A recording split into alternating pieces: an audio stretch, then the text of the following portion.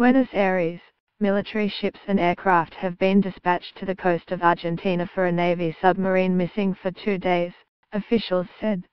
The vessel, which was patrolling off Patagonia with 44 crew members, last made radio contact on Wednesday, Captain Enrique Balbi, a spokesman for the Argentinian Navy, said in a television interview. Two planes were deployed on Thursday afternoon, local time, to begin searching for the submarine, Ara San Juan, one of three in Argentina's fleet. Rescuers were hindered by poor visibility and they resumed the search on Friday morning using vessels as well as aircraft.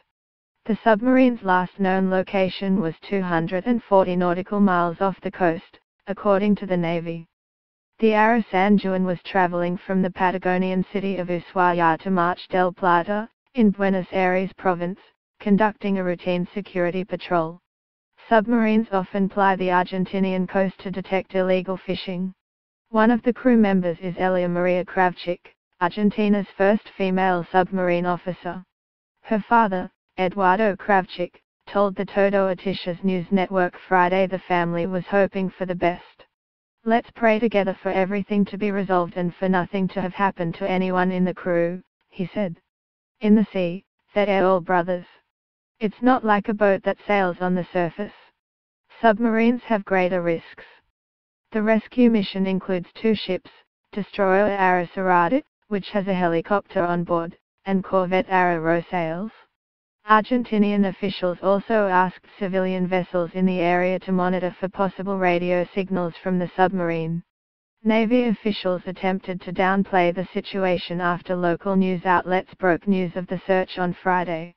We are not talking about an emergency right now, but rather we are handling it as a loss of communication with the submarine, Rear Admiral Gabriel Martin Gonzalez, who oversees submarine crews, told reporters gathered outside the naval base in Mar del Plata. Relatives of the crew expressed alarm, however.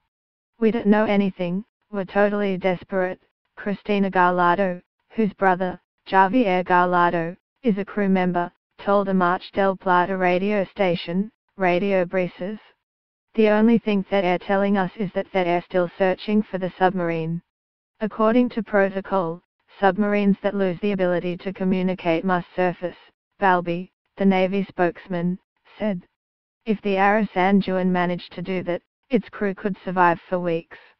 Balbi said it was not known whether the vessel had surfaced.